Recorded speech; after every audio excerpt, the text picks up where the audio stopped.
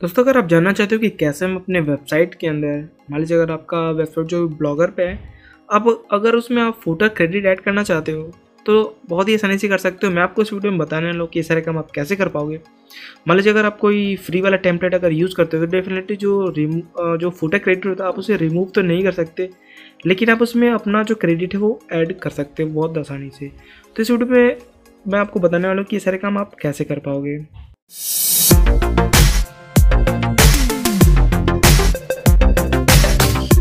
Hello and welcome दोस्तों, मेरा नाम है नवीन और इस वीडियो में हम बात करने वाले हैं कि भाई कैसे आप अपने वेबसाइट के अंदर अपना खुद का फुटर क्रेडिट ऐड कर पाओगे। मान लीजिए अगर आपके पास कोई ब्लॉगर का अकाउंट है, आप वहाँ पे अपना वेबसाइट बना रखे तो अगर आप फ्री टेम्पलेट यूज़ करते हो तो डेफिनेटली आप फुटर क्रेडिट को रिमूव तो बिल्कुल नहीं कर सकते, लेकिन आप उसमें खुद का क्रेडिट डेफिनेटली ऐड कर पाओगे। तो मैं आपको पूरा प्रोसेस बताने वाला हूँ इस वीडियो में कि कैसे आप ये सारे काम कर पाओगे। तो आपको थोड़ा बहुत एस का नॉलेज डेफिनेटली होना चाहिए। तो ये सारे काम आप डेफिनेटली कर पाओगे इसी तरीके से। तो सबसे पहले मैं अपना ब्लॉगर ओपन करता हूँ। आप यहाँ पे देख सकते हो ये मेरा ओल्ड ब्लॉगर है अभी फ़िलहाल। तो यहाँ पे आपको कोई ऑप्शन नहीं मिलता है। और यहाँ पे जैसे थीम में आप जाओगे तो आपको एस टी ई का यहाँ पे ऑप्शन मिलेगा। लेकिन मैं उससे पहले ओल्ड को नहीं, मैं न्यू को चूज़ करूँगा। तो उसके लिए just try the new blogger पे क्लिक करके कंटिन्यू कर देना है। और आपका जो सारा ओल्ड ब्लॉगर है वो न्यू वाले में कन्वर्ट हो जाएगा।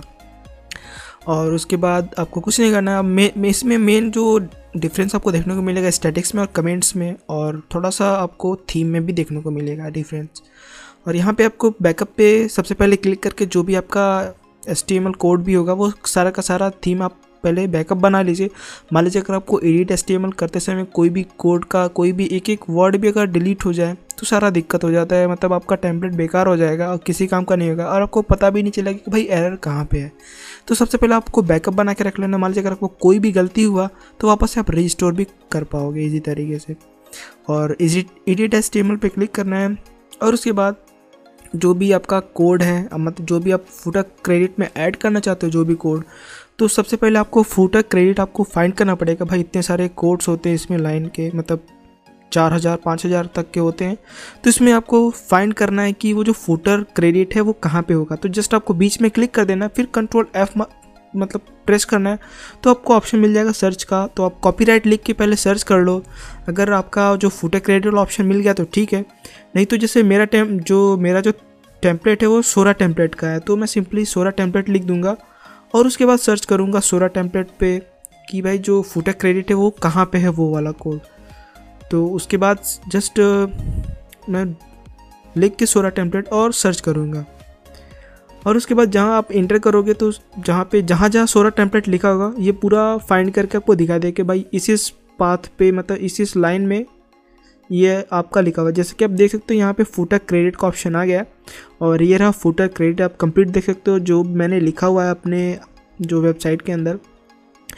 कॉपीराइटेड बाई मतलब ये जो आप देख सकते हो कि एम परसेंट और जो हैज़ वन सिक्स नाइन लिखा हुआ ये एक कॉपीराइट का सिंबल का एक कोड है सिंपली तो इसमें कोड पे काम चलेगा, जो भी आपका होगा प्रोसेस तो ये जो यहाँ से लेके पूरा यहाँ तक आप देख सकते हो मतलब जितना ये जो पूरा है लाइन, इस लाइन को आप सिंपली हाइपर टेक्स मतलब हाइपर लिंक कह सकते हो एस में जो जैसे हाइपर लिंक क्रिएट करते हैं, एक तरीके से हाइपर लिंक है। मतलब अगर आपको एक पेज से दूसरे पेज को कनेक्ट करना है तो आप किसी भी, आप जैसा कि आप देख सकते हो, यहाँ पे एग्जांपल आप, मैं आपको दिखा रहा हूँ। ये जो मेन है मेन है ये पूरा कोड कि आपको मतलब जो एंगल है ओपन करना है, उसको ए लिखना है, फिर एच लिखना है।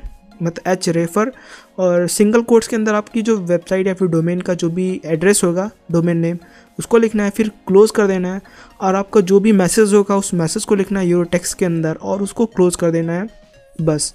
तो ये एक तरीके का बस टैग के अंदर आपको इस कोड को पूरा लिखना है, अच्छे तरीके से। और यही जो प्रोसेस है बैकलिंग्स बनाने के लिए भी आप कहीं भी कमेंट्स कर सकते हो अपने वेबसाइट का नाम और और जो भी आप योर टेक्स्ट के अंदर अपना जो भी मैसेज लिखना चाहते हो, लिख सकते हो।